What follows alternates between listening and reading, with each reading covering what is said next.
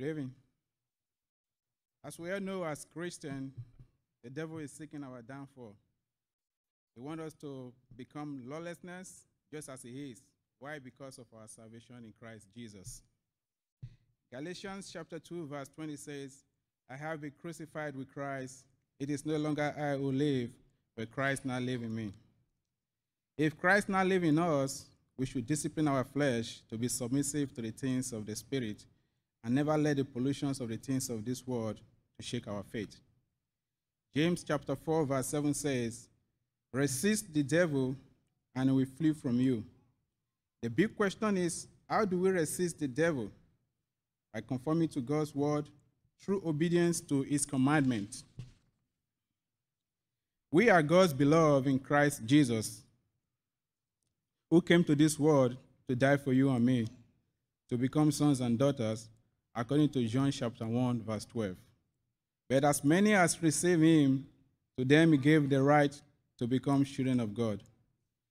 My beloved brothers and sisters in Christ, we should never allow the devil to thwart, Christ's effort in us on the cross of Calvary by seducing us with the pollutions of the things of this world. First Peter chapter 5, verse 8, remind us of the devil as a roaring lion looking for whom to devour. The things of this world is beautiful, but cannot be compared to that heavenly country prepared for the saint. We should begin to see things as God sees the things of this world. For God sees the things of this world as trash, according to 2 Peter chapter 3, verse 10. The elements and the things of this world will be burned up. We are walking the narrow way which leads to eternity. We should never be distracted from the faith. We should continue to focus onto Jesus Christ, the author and the finisher of our faith, according to Hebrews chapter 12, verse 2. The devil is still active with his evil work, but we can conquer the devil and his evil work through Christ Jesus, who strengthens us, according to Philippians chapter 4, verse 13. The devil wants us to focus less on spiritual matters and place high value on physical materials of this world which is about to fade away. The book of Ecclesiastes, chapter 1, verse 3, asks us a great question. What profit has a man from all his labor in which he toil under the sun? My fellow brothers and sisters in Christ, the answer is nothing. Who is this devil deceiving people all about?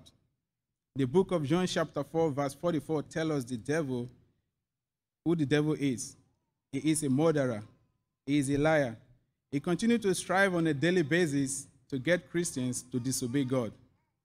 The devil don't have a future destination to call home in heaven. We do. Neither on this earth. His internal destination is here, as we all know. The earth and its fullness was created for mankind to have dominion, not for the devil, according to Genesis chapter 1, verse 26. As we strive on a daily basis to defeat the problems and challenges of this corrupt world, full of all kinds of sins that torment our soul every day, let us continue to focus onto that heavenly country which Christ purchased for us with his precious blood. May the Lord of our Lord Jesus Christ continue to be a lamp to our feet, and his word continue to be a lamp to our path as we journey our salvation life to reign with him in that heavenly country. If we have anyone who want to put on Christ in baptism, or you have strayed away from the faith and want to be restored, I encourage you to come forward as together we stand and together we sing.